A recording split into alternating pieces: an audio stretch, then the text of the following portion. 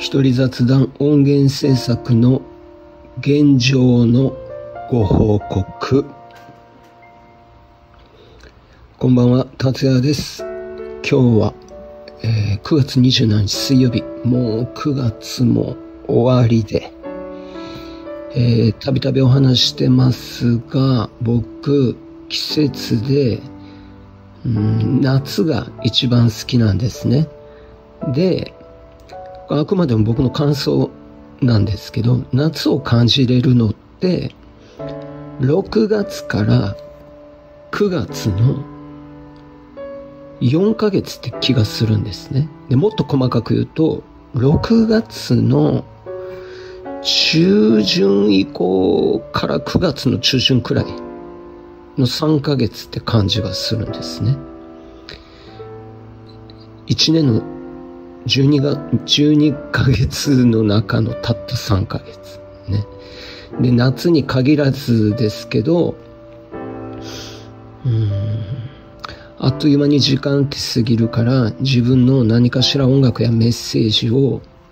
うん、なんか残したり伝えたり、人に楽しんでもらえるようなことを考えたり、理想というかね、そういう毎日でありたいなって思うんですね。で、えー、先日僕の音源制作に支援していただいた方全員にですね、お礼のメールを送ったんです。で、今回はスタッフじゃなくて僕が文章も考えて送ったんですね。で、あと、10月 ,10 月14日の、えー、招待ライブの詳細とか、あと僕がえー、カフェでお礼を伝えるっていう企画のこととか、まあ、メールを送ったんです。で、届いてる方は、えー、必ず内容を確認して必要な返信事項があったら返信をお願いします。で、あと、もし支援していただいてる方でメールが届いてないって方がおられましたら、この概要欄に記載しているジールインフォメーションへ、えー、連絡ください。お願いします。あの、返信はね、履歴を残したいから、返信は必ず、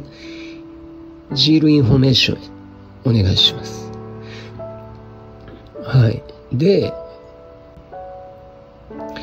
えー、もうね、レコーディングを始めた時からね、毎回ね、えー、レコーディングした日に SNS ね、今日何のパートを取ったとか、何を何曲取ったみたいなお知らせをね、えー、やってたんですけど、最近、それ全然できてなかったんですけど、実は結構進んでて、えー、昨日も歌とエレキギターを撮ってたんですね。えー、で、その昨日撮った曲って、今回のミニアルバムの1曲目に持ってこようと考えてた、えー、曲の歌入れだったんですけどね、えー、オケはもうねほぼできててでそれに歌を入れるっていう作業だったんですけどなんかね これが結構かっこよくて今曲順をね最後の曲にしようかなとか考えてて一番最初にね、もう撮る曲を決めた時に曲順もある程度決めてたんですね。で、曲が形になるにつれて、やっぱこの曲前半にしようかなとか、これ後半にしようかなとかね。なんかそういうの考えるのね、面白いですね。うん。いや、ほんとね、クロックハンズやってなかったら、絶対に新しい音源作るとか100%なかったです。うん。本当人間何がどうなるか先なんか全然わからないですけどね。うん、あとね、えー、雄大のね、その動機、プログラミングも結構センス良くて、本当完成が楽しみです。もうね、よっぽどね、歌やギターを取り直すとかがなかったらあるかもだけど、なかったら、こっからまだエディット、編集作業、あとミックス、マスタリング作業っていうのをやって、それがほんと来月中に終わったら理想かな。で、音源が完成し、完成したら今度は CD のプレスに出して、ジャケットの印刷作業やって、トラブルがなければ完成品が僕の手元に届くのが11月中旬ぐらい。で、そっから発送作業をやって、えー、支援していただいた方の手元に届く流れなので、本当お待たせして申し訳ないですけど、もうしばらくだけお待ちください。本当申し訳ありませんが、あと少しだけお待ちください。はい。あとね、えー、支援募っていただいた時に A から E まで5種類のリターン作ってたんですね。で、その中の C から E のリターンの中に10月14日の招待ライブっていうのがあったんですけど、えー、都合でね、このライブに来れないっていう方が現時点で何名かいて、さすがにね、それはね、リターンの一つとして、うん、やってたことだからな。やってたことだから許容かもな。なんかね、申し訳ないなって思って、なんか別で今考えてます。ライブ来られない人。